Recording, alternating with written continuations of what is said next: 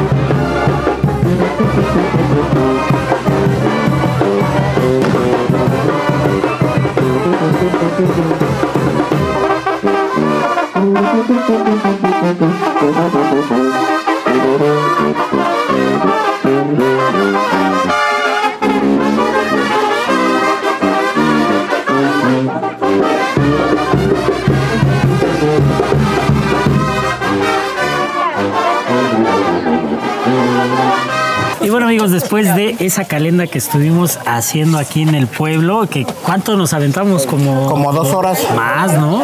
Casi tres. Más. Por el descanso y más que nada porque se concentró no afuera de la iglesia después todo. La fiesta se Sí, hizo. sí, sí. De verdad aquí empiezan las fiestas a lo grande. O sea, literalmente, luego, luego y... Y se siguen días y días y, y no terminamos. Y no te- o sea, nos estaba comentando este Javier, Javier. que hace unos días empezó. Ahorita es como empieza lo más fuerte y termina hasta la siguiente semana. Hasta el domingo es el corte final. Que de hecho no les había presentado a nuestro amigo Darío. Darío fue precisamente quien me invitó aquí al pueblo. Muchas gracias por A la Nanahuatipan, invitación. bienvenido. Nanahuatipa, es- siempre se me confunden los nombres. O sea, ya cada que me voy del pueblo es cuando ya me lo aprendo. Pero ya me lo estoy aprendiendo, ¿eh? Nana, nana, Nana. Nana- Huatipan. Nanahuatipan. Tierra de mujeres con enaguas. Tierra de mujeres, ¿qué? Con enaguas. Con enaguas. O sea, Las con faldas grandes. grandes. sí, Exactamente. sí, las enaguas. Y bueno, pues ahorita, ¿qué estamos probando? Porque estamos en una... Un consomé de chivo que se hace, en vez de poner maguey, se utiliza plátano. Se forra el, Ajá. el horno y se- en vez de utilizar maguey, utilizamos plátano. O sea, digamos como comúnmente conocemos la barbacoa, pero en vez de forrarla con, con maguey, con hoja de plátano. Y se escurre igual, me imagino Ah, que el jugo es. de la carne cae al consomé. Así es, efectivamente. ¡Ay, qué rico! Eso nunca, eso es la primera vez que vamos a probar el día de hoy. Y el sabor es muy diferente al que has probado, por ejemplo, en Texcoco. Sí, sí, sí, claro, ¿no? Pues es que todos los sabores. Fíjate que hasta las regiones donde preparan la barbacoa siempre cambian los sabores. Y Eso es, lo que es- me encanta. Vean. Y, y aquí tenemos un chile de hormiga que se complementa con el. ah, es este chile de hormiga que me Sí, lleva cacahuate y el, el chile es, frito. Es como una tipo salsa macha, ¿no? Exactamente. Le echo. Así es, échale y, y lo ¿Cuánto? pruebas. Poquito, poquito nada más. ¿Así? Porque Menos. sí pica. Eso es mucho. Eh, ya, ya me están diciendo eso es mucho. Y Cuando la gente local me dice eso te va a picar, El problema no es la entrada. es la salida. Es- el de atrás paga, ¿no? Y eso es muy común de la región. Sí, este chile de hormiga se utiliza hasta para comer con huevo, con frijoles, con, con lo que Pues tú una quieras. salsa normal, ¿no? Sí. Una salsa. Con cualquier cosa la puedes O utilizar. sea, como hacemos una salsa verde en la ciudad, salsa roja, sí, clásico. Cualquiera la puedes utilizar. Ah, qué rico. Y entonces Y de hecho, huele. huele. A ver, espérame. Pruébela así sola. Voy a echar un cacahuate. Sí.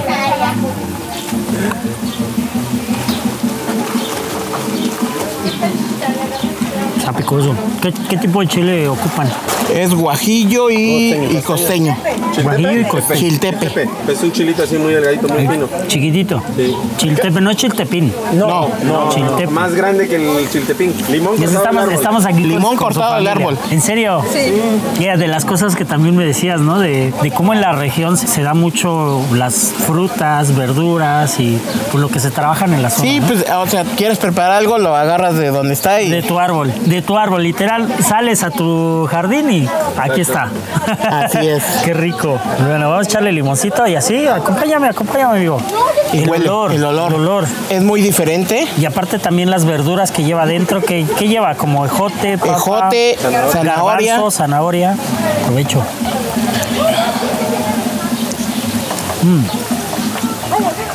Y sí tiene la esencia como del sabor del, del chivo. Es que fíjate que muchas personas están peleadas con el olor del chivo. Y aparte, todos lo tienen aquí, ¿no? Todos lo, lo crían acá y. O sea, casi, casi los que preparan en la fiesta es lo que ya llevan produciendo de un año para acá, es. dos años. Y es lo que se, se hace para que no, se gaste más dinero. Ni grasa. Ni grasa. Se cocina con la grasa del mismo este, Animal. Pues es que es tal cual como la- las la- toda la carne que se cocina en horno se cocina en su propia su propio jugo, exactamente, en su propio jugo. Acaba de dar en el detalle. No, hombre, qué sabroso está. Y tiene la grasita y todo. Provechito. Provecho. Y seguimos disfrutando aquí de la fiesta de San Antonio de Nana. Padua. no de Padua, de Ah, Padua. Padua. Padua. San Antonio de Padua. es que siempre me confundo con los nombres. Provechito, amigo. Y bueno, mis amigos, pues ya este es otro día que justamente hoy es el día principal de San Antonio, la celebración. Ahorita en unos momentos se va a celebrar la misa, pero uno de los detalles que tienen aquí en este pueblo es de que después de la misa le dan a comer a toda la gente que viene. Y justo nos encontramos con las personas que están preparando toda, toda, toda la comida. Y chequen nada más. Tenemos uno, dos, tres, cuatro casos. ¿Qué están preparando acá? Son los clales. Los tlales, ¿qué son estas? ¿Qué, so- qué son en realidad? Es la grasa que le quitan al cuero del marrano. Ok. Salen- bueno, de ahí Como los- chicharrones, por Ajá. así decirlo. De este otro lado, ¿qué es lo que prepararon para la comida para la gente? Es carne con este enchilada. Carne enchilada. Más o menos, ¿para cuánta gente hacen comida? ¿Cu- ¿Para cuántos esperan ustedes aquí?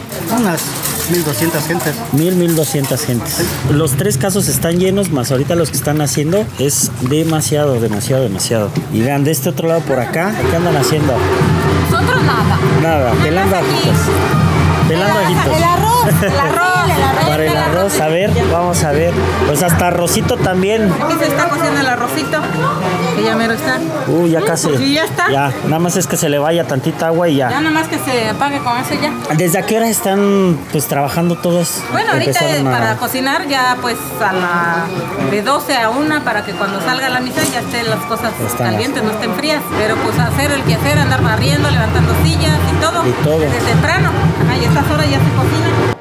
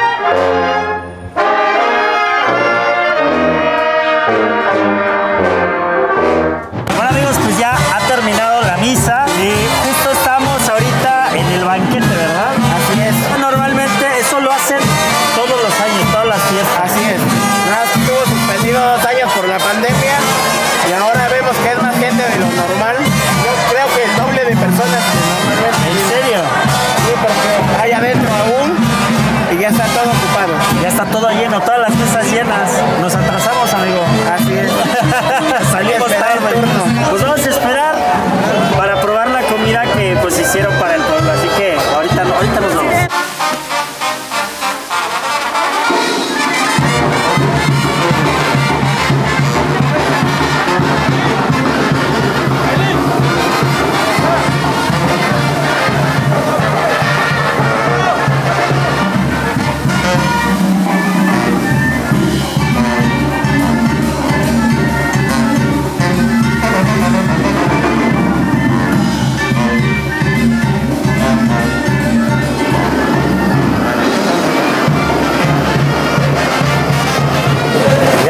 este lado pues ya están armando los toritos, el castillo. Y vean, vean, vean por acá. De hecho de ese lado les muestro, ya hay unas estructuras aquí, pero aquí siguen y siguen armando.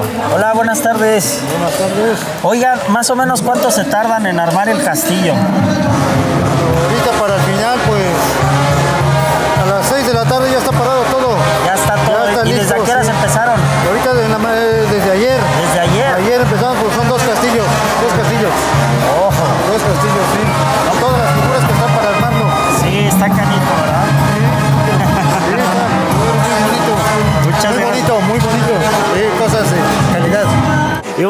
pues ya hemos regresado aquí para, pues, después de la misa, la comidita, que estaban preparando hace ratito, estuvimos pasando con ellos, con la gente que prepara todo esto, que son bastantes, y bueno, a final de cuentas todo esto lo, lo regalan para la gente que pues visitó, que estuvo en la misa y a disfrutar, ¿no?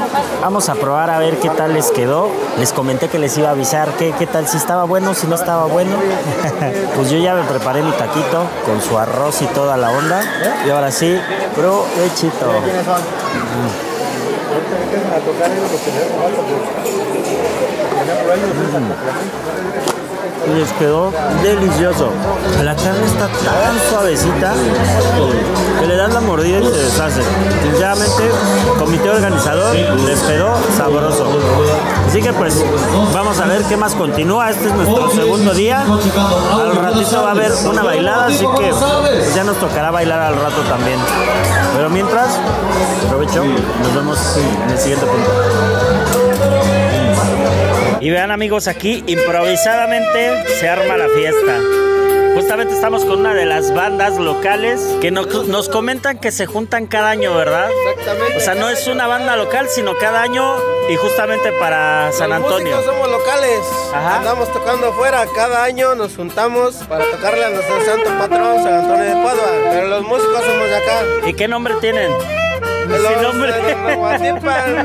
No le ponemos nombre a la banda, nada más así nos juntamos los músicos y así le andamos dando al pinche ruido.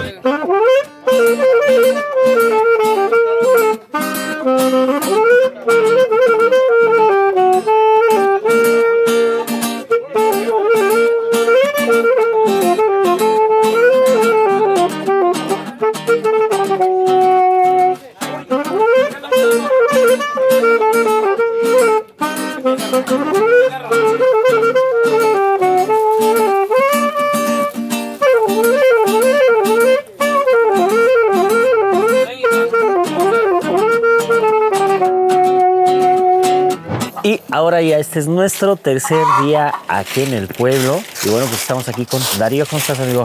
Amigo, aquí estamos. Otra nueva aventura. Otra nueva aventura. Un día, un día más, un día más. Pero el día de hoy nos toca hacer algo gastronómico. Les quiero presentar a la señora Paulina Hernández. ¿Cómo está? Bien, gracias a Dios. Oiga, veo que anda asando hojas. Eh, ¿Qué son esas hojas? Hojas de aguacate. ¿Y qué nos va a enseñar a preparar hoy? Voy a preparar unas mamelitas de frijol hoja de aguacate y chilito molido. Para hacerlo tiene que asar primero las, Sí. las hojas. Tengo que asar la hoja para que es lo que le da el sabor a la, a la memelita. A la memelita. Sí. La memelita son prácticamente como unos guaraches, digo, por, digo, por tener una referencia, pero más chiquitos. Ajá, eh, y son redondas. Más como tipo gordita. Ándale, como gorditas, pero rellenas. o sea, Ajá. ajá. Y aparte también me comenta que no solamente la hoja de aguacate lleva los frijoles, sino también lleva chile, ¿verdad? Ah, chilito, chiltepe le decimos nosotros. Chiltepe, Chiltepe. que es un chile endémico de aquí de la región.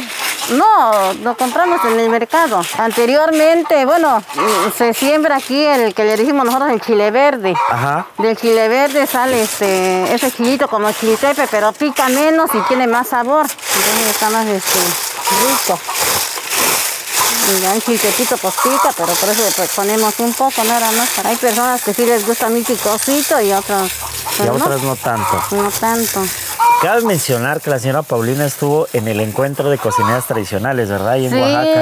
bendito Dios, Dios que me hicieron la invitación. La verdad yo no sabía ni a lo que iba yo, nomás me dijeron, dice, me invitaban que para que presentáramos este algo en Ajá. Oaxaca. Entonces lo que a mí se me ocurrió, digo, pues qué cosa llevo. Mis memelitas, Dios quiera que se vendan y bueno, que les guste pues, Claro. Sí, ya preparé todo y pues me fui, me aventuré, pero eso me levantó muchísimo el ánimo porque acababa yo de perder a mi esposo. ¿Cómo fue la respuesta de la gente allá en el encuentro de Ah, cocineras? No, pues fue, fue hermosísimo. Sí, le gustó. Me gustó muchísimo, le digo que si me pueden invitar, yo vuelvo ahí, le digo que Con sí. todo gusto. Con todo gusto, sí. Pues esperemos que cada año lo hagan para, pues, para poder disfrutar también, ¿no? Pues Que, sí. para poder compartir, porque es más que nada Sí. eso, ¿no? Compartir con la gente el sazón, el guiso que hacen en cada región de Oaxaca. Ajá. Es completamente diferente y en cada lugar tienen sus sabores. Sí. Y pues ya esta es una segunda parte, ¿no? Después de asar el chile y, el, y la hoja de aguacate, empieza la molienda. Estos son bien útiles, los molinitos. Sí. Porque anteriormente en puro metate con mezclapile que le decimos, con eso se molía. Anteriormente. Anteriormente en el metate Y aquí es ya cuando empieza la mezcla, ¿no? Con los Sí. frijoles y todo. y todo. Y vean, ya que está todo molido, sigue la manteca para darle más sabor, ¿no? Sí. Y vean cómo agarra las tonalidades entre rojo, verde. Ajá. Pero lo más impresionante es el olor. Sí, el olor. El olor es lástima que no en YouTube no hay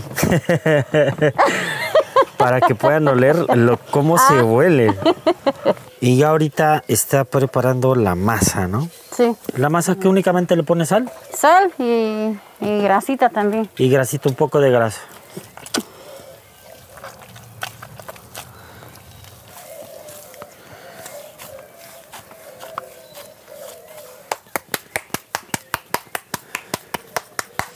Y ya que tenemos ambas masas, ¿no? De frijol y la de maíz, hacer las memelitas.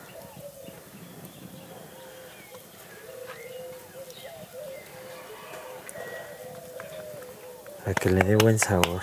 Sí.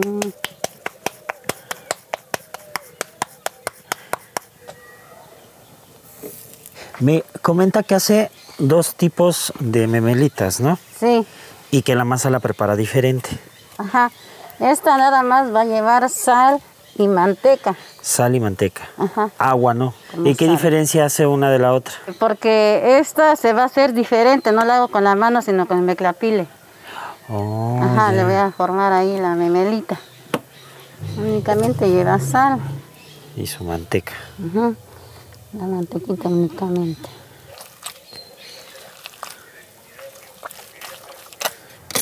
Ah, ya. Ahorita, ya después de que se terminan de cocer aquí arribita, Ajá, Cocidas, pero ya se van a, a dorar. a dorar. A dorar. Y las baja donde estaba la lumbre, Ajá, abajo del comal. abajo del comal. Al lado del comal. Para que la memelita vaya bien cocidita. Ok. Y además mi camioneta no es tan grande. Bueno. También ya se, ya se doró. Ahora la voy a, a limpiar. La voy a limpiar. Le voy a quitar esto. Ya salió así bien dorada, dorada, ¿verdad? Sí. Ya está lista. Vamos a probarla. y obviamente, mis amigos, pues la mejor parte es probar, ¿sí o no, Darío? Así es. O sea, esto es algo que es muy común de la región. O sea, las- Ya sea para el campo, ya- hay una peregrinación en cuarto viernes Ajá. que toda la gente lleva para estar en, en ese lugar, lleva para comerlo todos los días. Y es algo tan típico para nosotros que ya es como de mucha importancia. Es parte de nuestra cocina que va acompañado con el, Con el chile el hormiga, chile hormiga. que es pues prácticamente con unas tipo salsa macha Ajá, no, es que con cacahuate. con cacahuate. Vamos a acompañarlo por acá. Ahora sí que en esta mañanita, Fresca. provechito. Sí, el sabor es el chile, el frijol y la hoja de aguacate. Y la hoja de aguacate. Como les dije, lástima que no pueden ustedes oler en la pantalla, pero los olores que desprende de la hoja de aguacate es wow. Nada más que ahorita sí ya ven chile. Uf, qué sabroso. Qué sabroso. Y bueno, pues esta es parte de la gastronomía local. Riquísimos, ¿eh? Riquísimos. Y las fiestas en San Antonio de Nanahuatipan duran aproximadamente una semana. Lamentablemente yo ya no me pude quedar el resto de los días, pero si ustedes quieren visitar y vivir esta fiesta, el mero día de la fiesta es el 13 de junio en honor a San Antonio de Padua. Pero bueno, también si quieren ir en cualquier fecha de la misma manera serán bien recibidos. Y bueno amigos, pues hemos llegado al final del video y si les gustó compartan y dejen su comentario qué más fiesta les gustaría que visitara. Les mando un gran abrazo y nos vemos en la próxima aventura.